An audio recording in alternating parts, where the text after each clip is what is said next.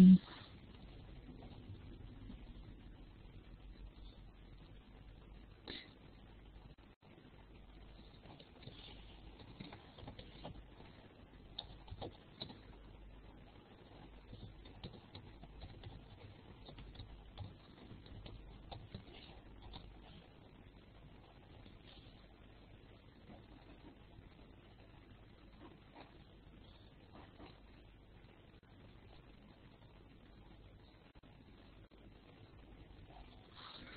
Mm.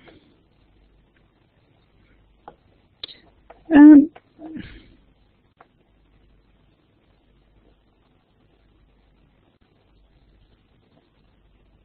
Uh, Jo, I don't know. Peggy's marked aw- as away. So would Oh, you like okay. me to introduce you, or do you want to just start your Yeah. spill? Oh, Peggy's Wait. back. You just missed my brilliant introduction. I was so busy worrying about the recording, I forgot to talk. Turn on talk. I am so sorry. I want to say welcome to all of you, and I'm so glad that you could be here to join us, join us tonight with our fabulous presenter, Jo Freitag. And mm-hmm. she's going to be sharing with us about persona dolls dressed for learning. Jo is the guru of all things related to gifted education, and I know you're going to love what she has to share um, in this session. She operates the information service, Gifted Resources, and maintains the Gifted Resources website. She's also the author of the Sprite Site blog, Personas, Profiles, and Portraits blog, and the Gifted Resource blog. So you can see she's got lots of uh, fingers in the fire, so to speak, for many things related to gifted. She has worked as a librarian in both public and school libraries, and she home educated two of her children at the secondary level. And she loves to write, blog, and create with arts and crafts. So with that, I would like to move on and say a big thank you to our sponsors and supporters. We're so appreciative of the support that we've been given so that we can offer these free virtual conferences around the world. So thanks to Adult Learning Australia, the Australia E-Series, uh, Broadband for Seniors, the Learning Revolution, which is Steve Hargadon's project, and Blackboard Collaborate. We so appreciate their support. And we do want to take just a moment to ask you to please grab one of those smiley faces or globes down in the lower left corner and click and drag it onto the map. And I know that that's not possible for people on iPads, but you can sure type it in the chat. So let us know in the chat where you're located. I'm located in Phoenix, Arizona, where it is now 10 p.m. on Friday night. Thank you. We love seeing those smiley faces across the globe. And now I'm going to turn the mic over to Jo for her presentation on persona dolls. Thank you, Jo, for presenting for us. Thank you very much indeed for the lovely introduction, Peggy, and um, and thank you very much everybody for coming. Um, yes, um, persona dolls dressed for learning. Now, first of all, um, I would like to find out who's in here. Um, are you a teacher, a techie person, um, a parent, um, an administrator maybe? Are you on Twitter? And if so, would you like to share your Twitter handle with us? And um, would you like to um, put comments or um, whatever on the whiteboard, either using the um, A text label, um, the plain one without the lines, or using the pen stroke one, which is just above that. Um,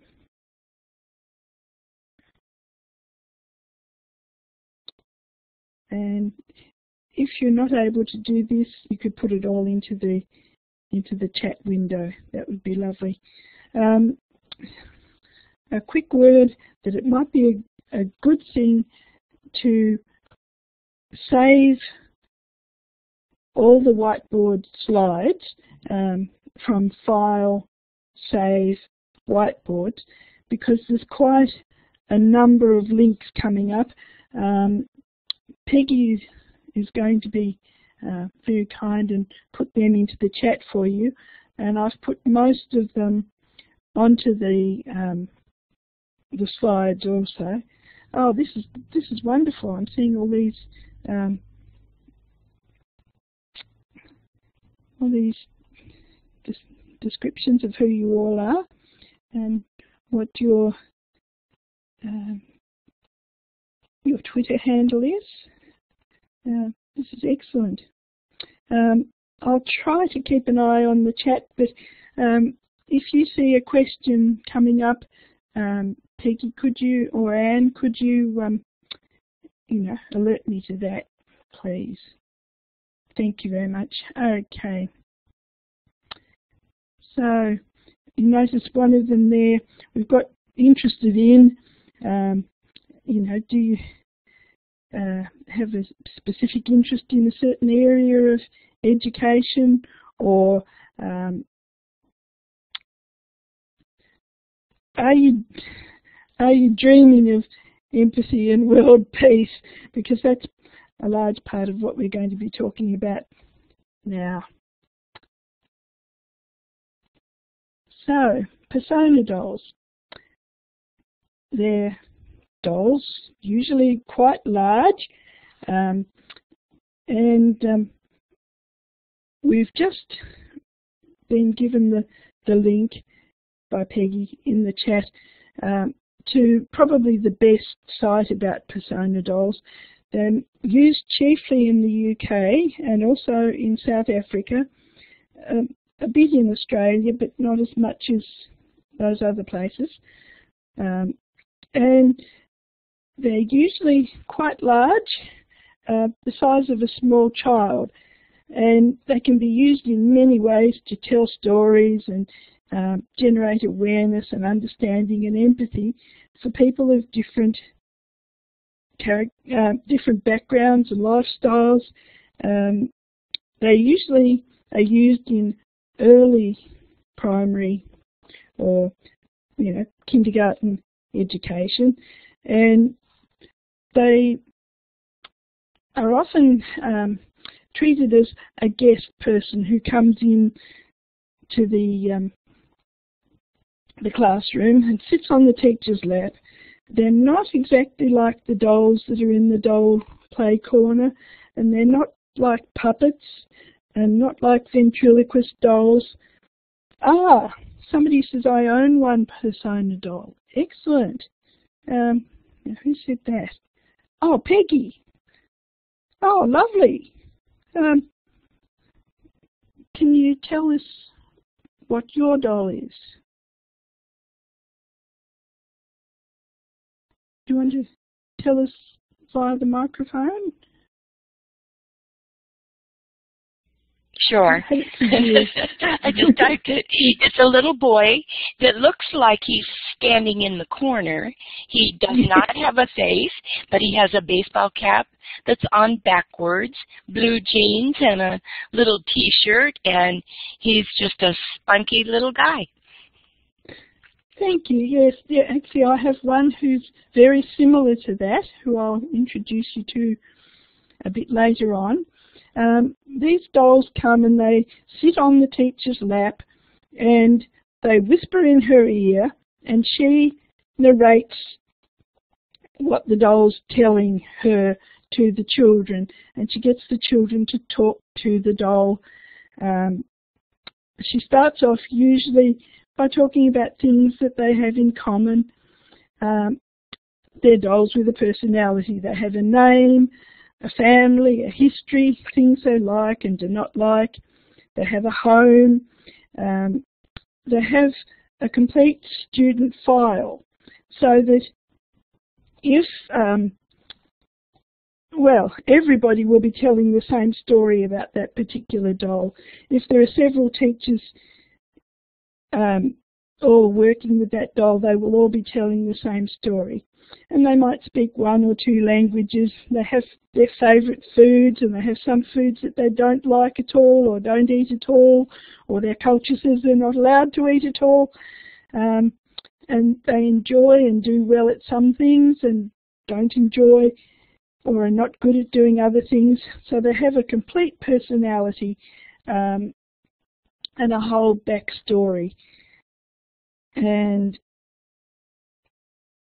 moving along, um, they can be used in education, in play therapy, in professional development. Um, they can be used to create empathy or as part of storytelling or just purely for entertainment. Now, I've put some links here to some of the blog posts that I've written on my blog. Um, and the, the, top one is called Refugee Zoombinis and Persona Dolls, and that was all about um, how persona dolls could be used to maybe help children understand about refugees who are coming into their school. Um, and in the same way that the Zoombinis um, computer game could be used for the same purpose and how they can be used in play therapy. Um, and then there's one whole blog post about storytelling and how that can be used in that way. And one, the one called What Next is what else could I be doing with these persona dolls because I can see all sorts of possibilities. Um, okay, do you use them like big puppets and talk with them? Well, yes, but they're not like puppets in that you don't put on a voice for them. You don't ever hear the persona doll speak. It just whispers to the teacher and then the teacher relays what the what the doll has said.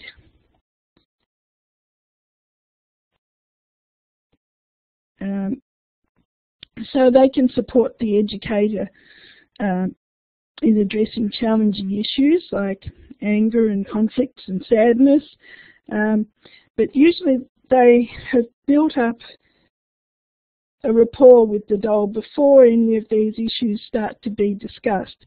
They'll emphasize the things that they have in common with the doll first of all. You know, they'll talk about um, holidays and uh, places they like to go and things they like to do. And they'll yes the children do love talking with the dolls. And very often they will talk to the dolls when they won't talk to people. Um, they'll feel quite comfortable about it. These are really young children. Um,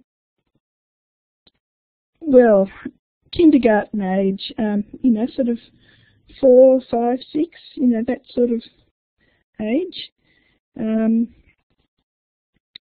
and um, when they've built up the rapport with the with the doll and talked about things they have in common, etc., then they can talk about these other um, experiences. You know, for instance, being left out of the game or somebody calling them you know, unpleasant names or whatever. Um, all these other issues can then be discussed later on. Um, some of the teachers let the children play with the dolls, some of them don't. Some of them treat them um, like a, a guest who comes maybe once a week and talks to them, and it's a sort of a guest appearance, a regular type thing. Others do let them play with them, but they have to make sure that they're respecting the doll, not throwing it around wildly or anything like this. So it has to be, um, they have to be respecting it in the same way as they would be respecting a real person. Um, and so, you know, some some teachers do it one way and some do it another way. Uh, but they do help the children to acknowledge uniqueness and special needs and to respect and value their own group identity as, as this kindergarten group or um, this group of people who live here or whatever. Um, it helps them to expand their knowledge of their own and other children's family cultures. Um, and then they can experience empathy and solidarity and they can develop problem solving strategies. Say, well, you know, um, Megan the doll is having all these different problems at the moment and, you know, what can we do about that? And they can make decisions together and take responsibility in the face of unfair behaviour. So once the doll has talked to them all about the problems they're having, when they see this same situation arising, then they feel empowered to speak up and um, and voice that that is unfair or whatever. Uh, it helps them to develop dialogue and, and negotiation skills and um, develop a culture of community and dialogue so that everybody's happy to talk to everybody else and uh, talk in a respectful way. So here we have um, a page full of links about persona dolls and how they get used. Um, and there are some really good ones there. The PowerPoint, um, number three down, that is a really helpful one. It explains to you exactly how they're used and um, gives you examples of it. It's very well done.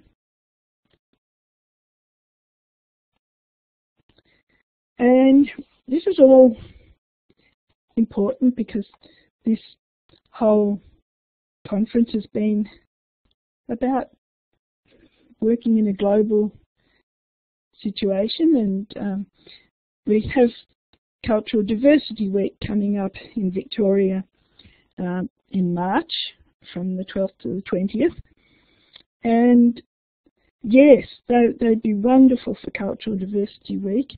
Um, and here from the Multicultural Vic website, we have um, in Victoria, more than 46% of our population are either born overseas or have at least one parent born overseas.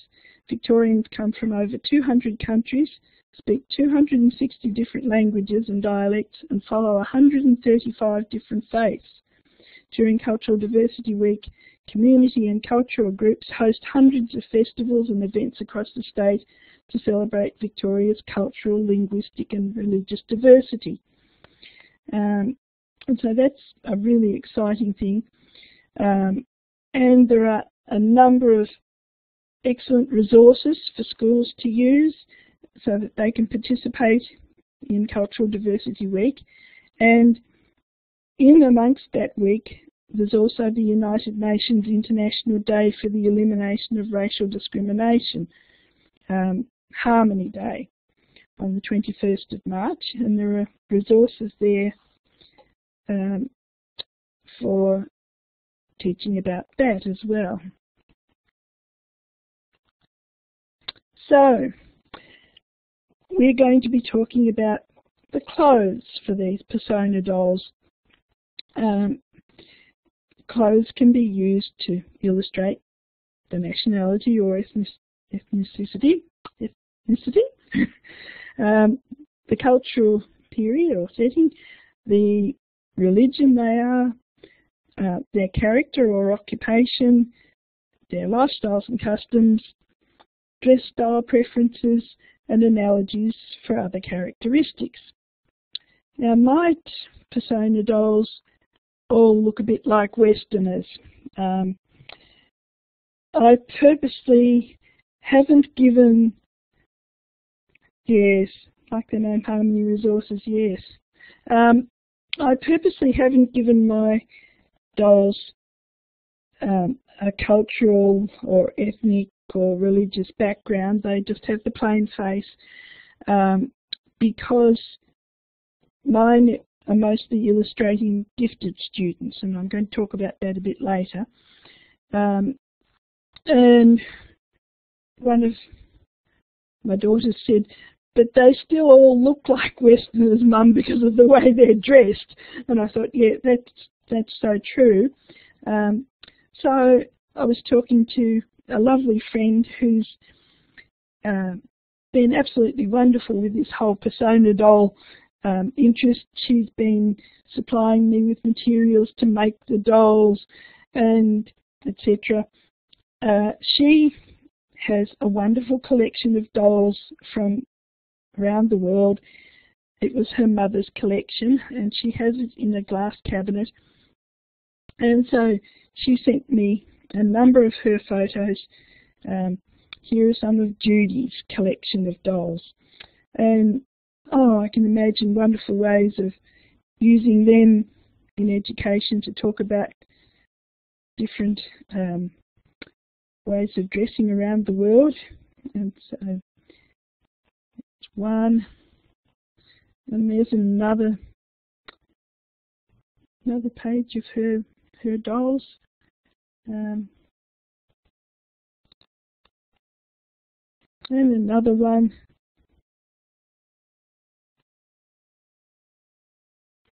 and another one. I love these little Japanese ladies.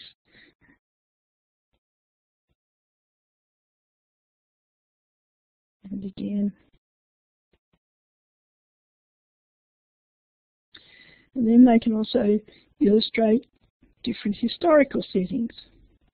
These ones of Judy's are not very big at all. They're uh, a few a few inches high. Um, hmm, six inches maybe. Um, I don't know. Um, and they're they're in several on several shelves. Yes, they're five to seven years somewhere there. They're um, they're in a glass cabinet um, with a mirror behind, um, and there are several shelves of them in the cabinet. But my dolls are larger than that. They're, they stand almost three feet tall. Um, and you'll see some of them in a minute. Here are some more historical setting ones. These are little characters from Cryal Castle, showing the medieval ones, and a porcelain doll. Um, Uh, then they can also illustrate uh, different religions. Now we've only got um, the Christian faith being represented here, but um, the link there takes you to a place called um, Articles of Faith, and they have a whole collection of persona dolls from different faiths, a Jewish one, um, a Muslim one, etc. Um, so that that's very a very useful link, I think. And they can tell you about the person's occupation or character. We've got the the Pearly Kings and the and the London Bobby here and the Canadian Mountie and the Australian Swaggy. And then they can also, uh, I've got some more this here that illustrate character or occupation, and these are some of my dolls. Uh, we've got the little florist and the little tradie, um, and they were ones that I made um, for different members of the family for Christmas presents. So the, these ones stand about three feet tall. Yes, excellent props to tell a story. That's right. And so clothes can illustrate the customs and lifestyle. Um, here we have a group of American Indians and they're all doing the things that they do, going hunting and, and fishing and food gathering. Um,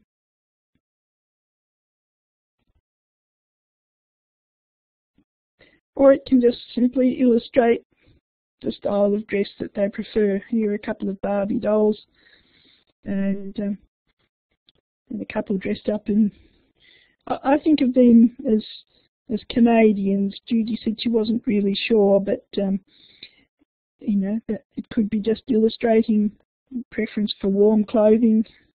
Uh, and it can illustrate an analogies for other characteristics. But um, I need to talk about that a little bit later.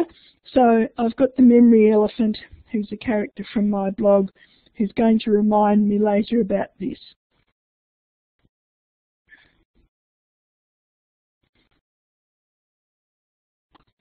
And so my persona dolls um, don't illustrate any specific country like Judy's ones did do. Um, mine all represent um, different types of gifted and talented student. And um, there's a list of some webinars that I've given about them there, links to those. Um, this was how I began doing this. Um, I was approached by one teacher who had to make a persona doll that represented a gifted student um, and she was sent to me to get some information about gifted students.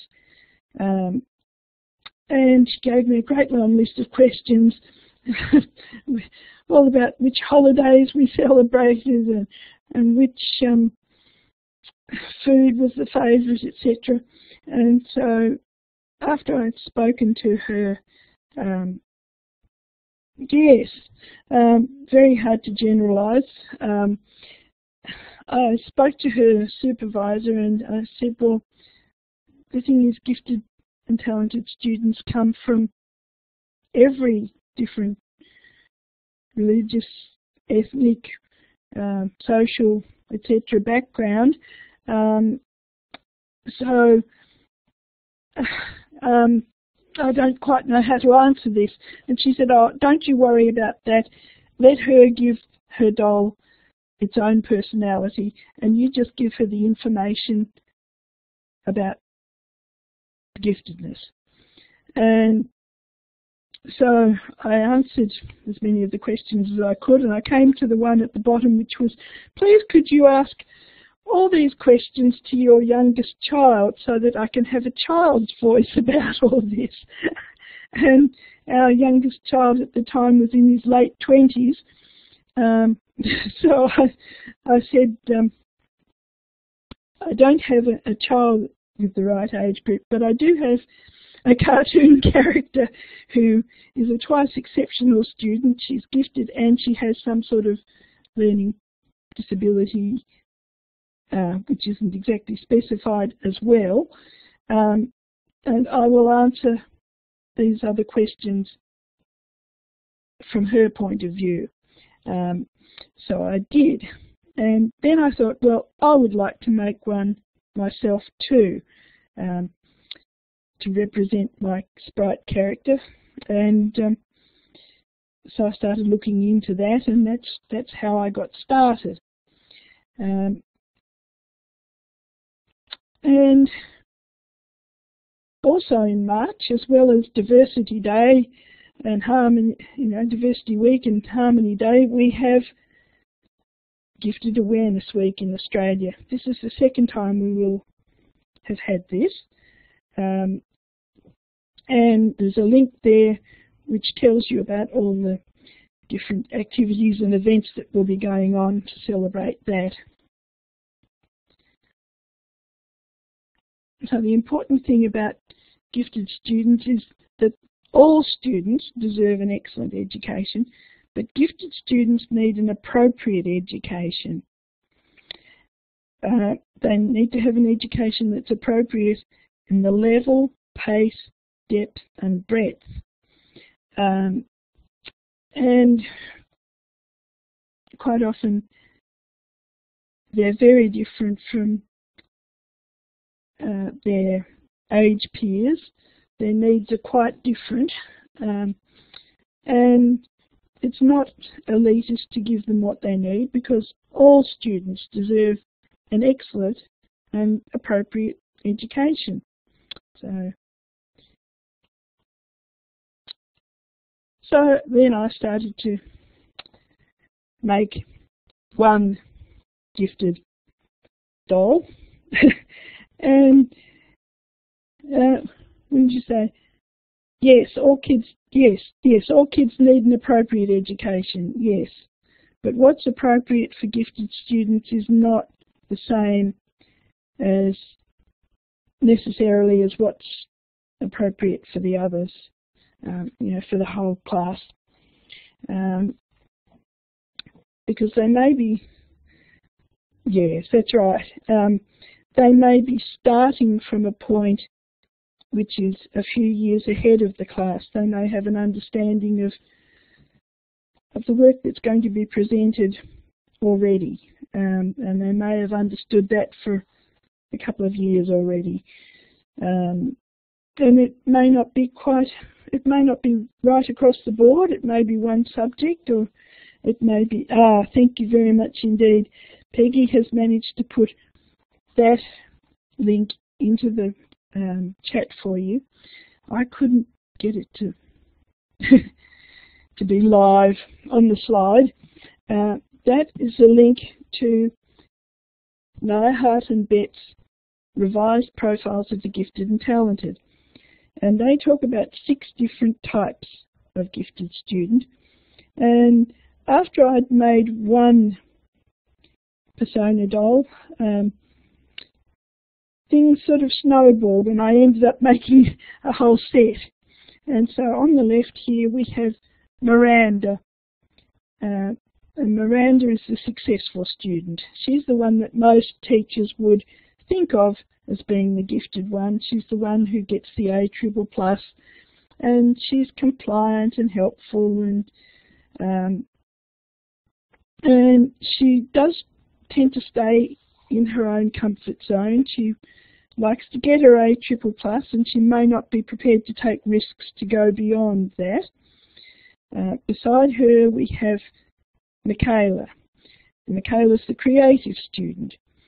Um, she's the one who has a very different outlook and a very, very different um, original thinking. Oh, okay. Um,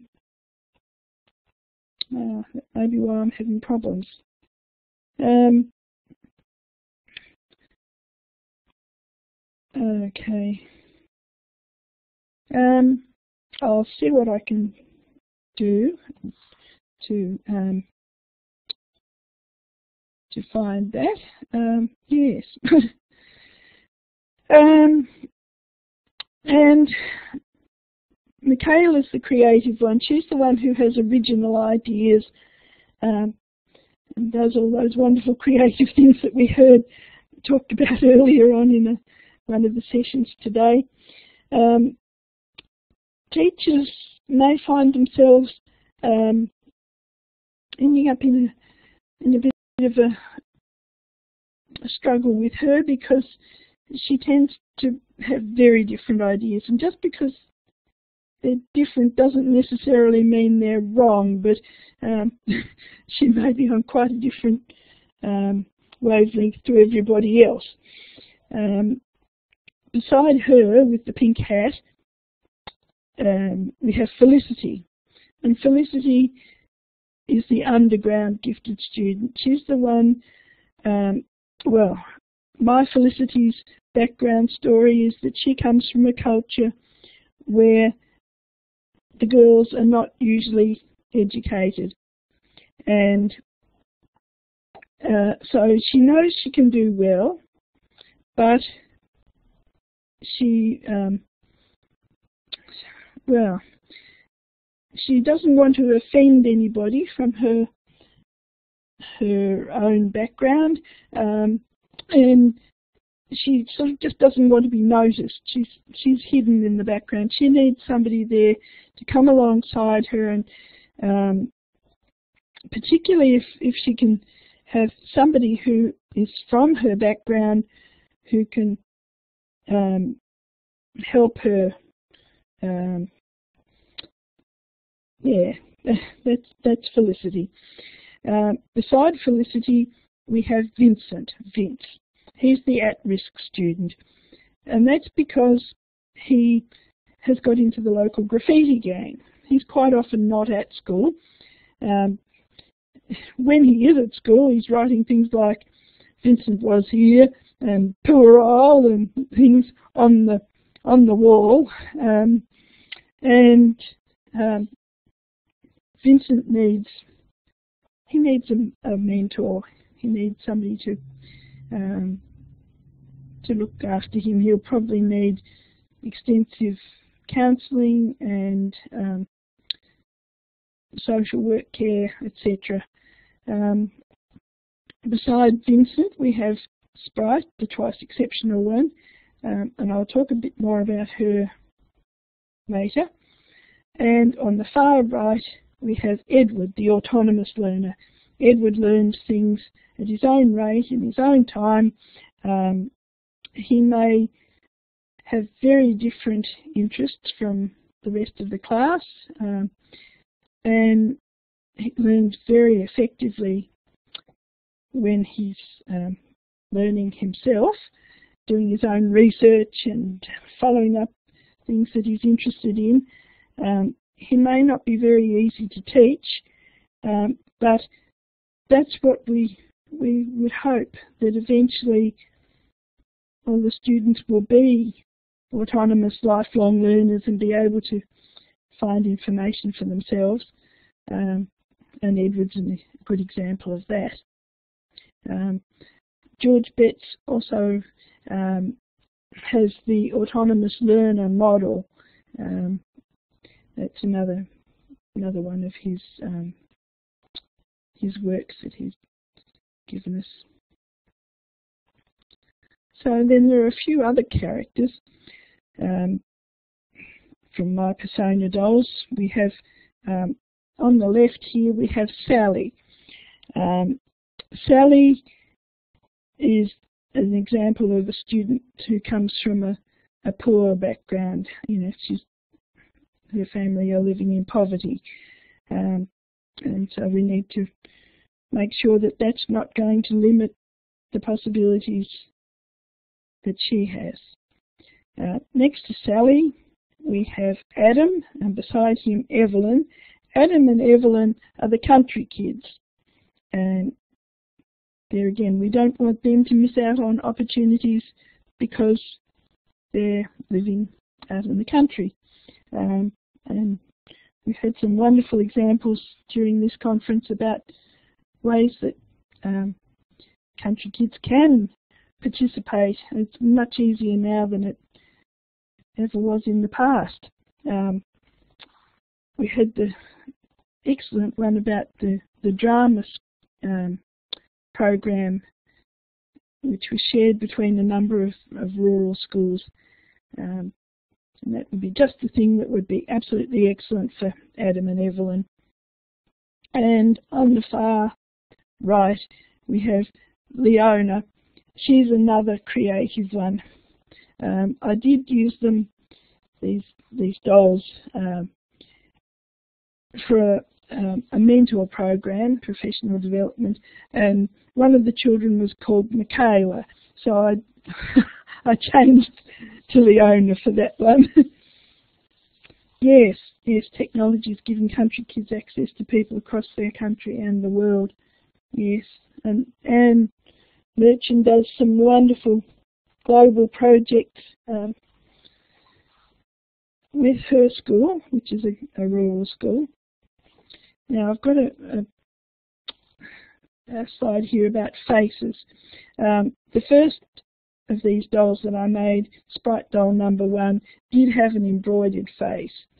Um, Sprite doll number two, by this time I was making a whole set of them, and the other ones had foam heads, and so I made another Sprite doll because the second Sprite doll, well, the first Sprite doll was not in the same scale um, as the other ones and was quite different in a lot of ways. So I made a second one. um, but I purposely didn't give them any facial features so that they could represent their type of giftedness without showing any particular racial or ethnic characteristics. Uh,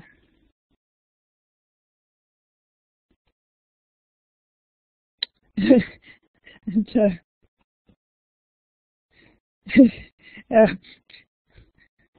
so thank you very much, Memory Elephant. The other thing that um, clothes can be used to illustrate, oh, do they, do they always have a gender? Um, yeah, now that's really interesting. Um, uh, they do, um, but I think they could probably, you know, I mean, I, I can imagine um, a possible use for them illustrate, illustrating tra transgender issues, for instance. Um, but one of the things that they do say on the um, the Persona Doll websites is, you know, make sure you have boy dolls as well as girl ones because, you know, you don't want the boys to think, oh, that's just a girl thing. Um, they're supposed to represent people, you know, rather than um, being a doll plaything type affair. Mm. Um, okay, so the memory elephant has done its job. Memory elephants are great. Um, and we need to think about what else um, uh, clothes can illustrate. And what about hats? Does anyone want to have a guess of what analogy hats could be?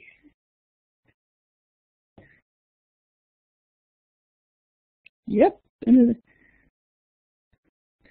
and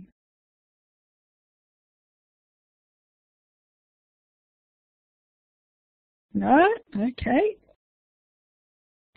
What about De Bono's six thinking hats?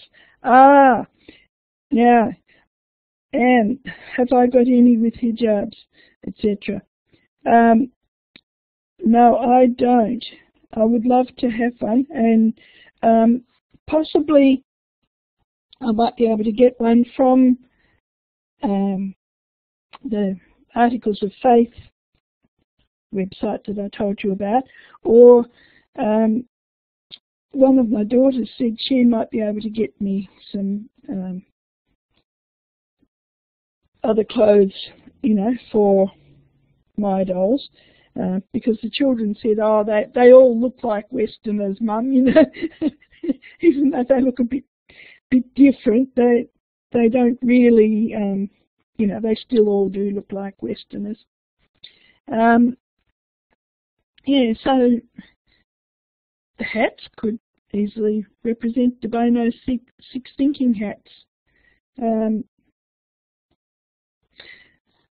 Yeah, yes. Now, that's interesting too, Anne, because I think, I don't know about this, but I'm wondering whether there are maybe even some cultures that wouldn't use dolls at all. I'm wondering whether there are some that would say that this wasn't an appropriate thing to do, and that's something I'm going to follow up on. Hmm.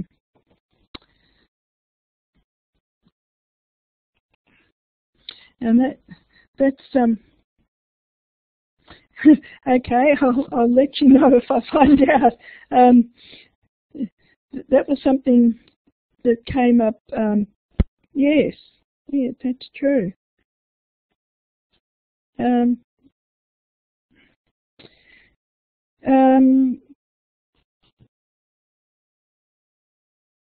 that was something that, that sort of came to the fore this morning when they were talking about um, being culturally sensitive and um, things being appropriate in some. Oh, thank you very much, Peggy. You've put the the De Bono Six Thinking Hats link up. Um, the things that are appropriate in some uh, cultures and are just not, and how we really need to know about these things before we start um, trying to communicate and particularly um, go to a deeper level of communication with other countries. Um, yeah. So, De Bono's six action, six thinking hats, and then shoes. What do you think the, the shoes might be representing?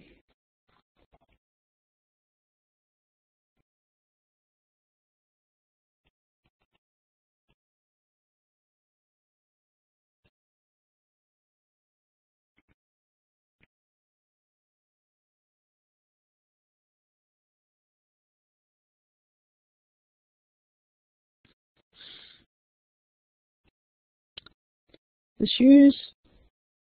Um,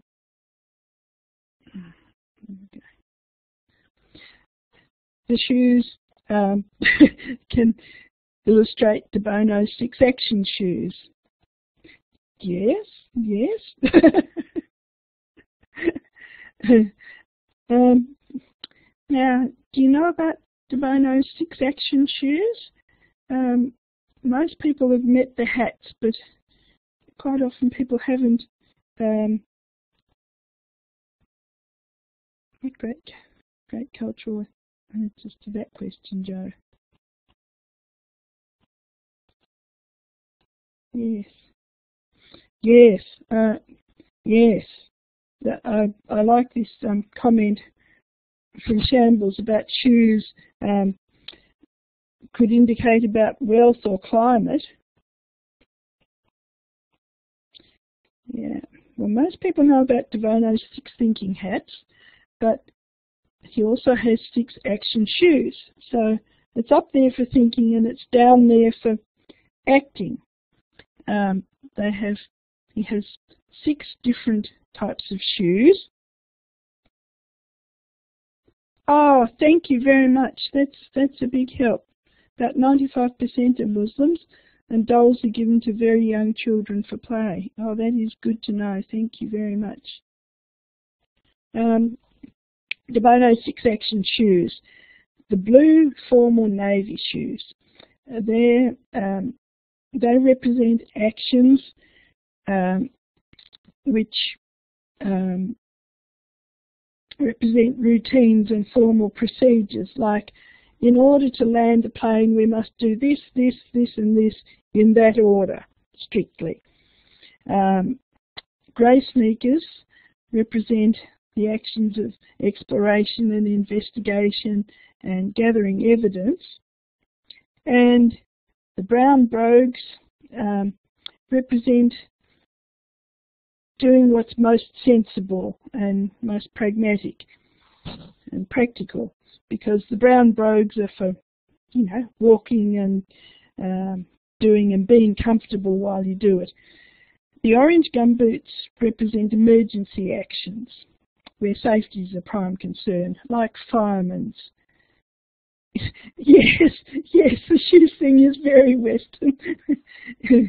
um, and the pink slippers represent care and compassion. It's the colour of the shoe that's significant. No, both.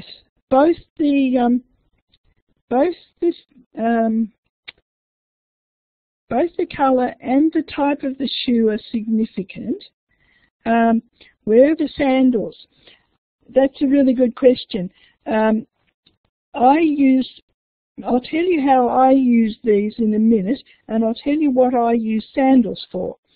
Um, the um, pink slippers represent actions that are to do with care and compassion and attention to human feelings, etc. And the purple riding boots represent actions to do with leadership and command and authority. Um, it suggests that the person is saying, we will do this because I'm... Bet Jo talks about socks next. Well, um, uh, I will talk about socks in a moment. um, the um, uh, purple riding boots are actions that are taken because a person in authority says that they should be. Um, should be done that way. Now, I use them slightly differently. Um, and there are some webinars that I have um, given about this, these topics. Um, well, a, a quick um, day tour back to the socks.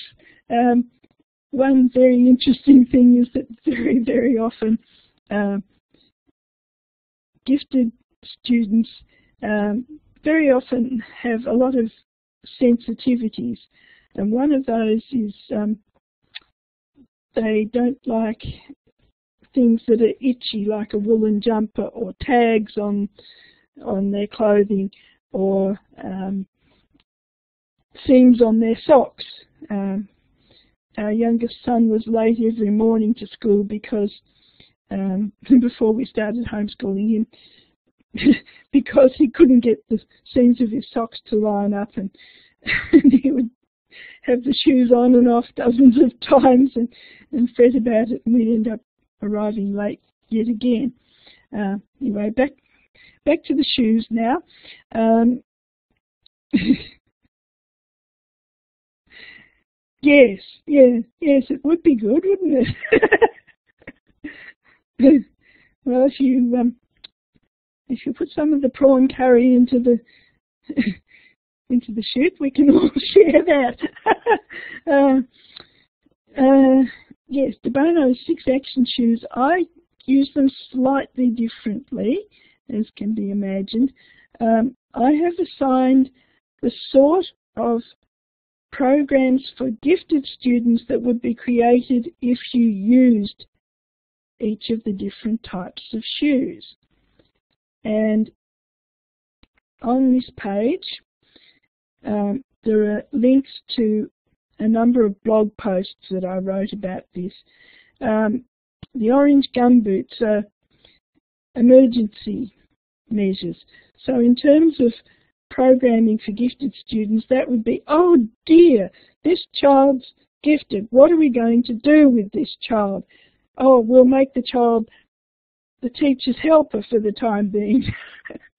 yes, which Gandhi own? Yes, none of the above. um, the pink slippers represent um, programs which um, demonstrate care, etc. So they would be study skills ones. They would be remedial programs. Um, they would be um, oh um, counselling and um, and all those care type subjects. They, in my way of thinking about it, most of the Pink Slipper programs don't actually have any teaching content but they're support programs and they're the sort of thing that will keep the child hanging in there and and um, it could be could be just the thing that keeps them keeps them going. Um, the grey sneakers they represent um, exploration and fact finding and uh, you know, library visits, etc. Um, project work, um, passion-based and um, projects, uh, etc. And you can build some wonderful projects and programs for gifted students using the grey sneakers. The blue formal shoes, yes, okay. Um, oh, goodness, right. Um, I won't go into all of that. Um, right now, I'll just leave you with the link so that you can look at that yourself. And I'll show you that there are some more pages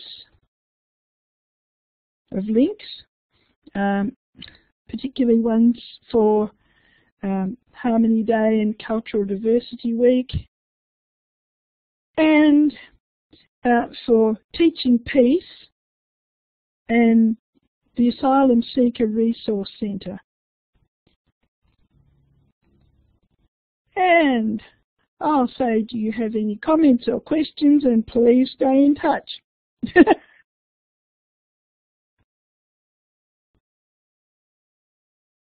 and I'll, hand it back over to um, Peggy or Anne now.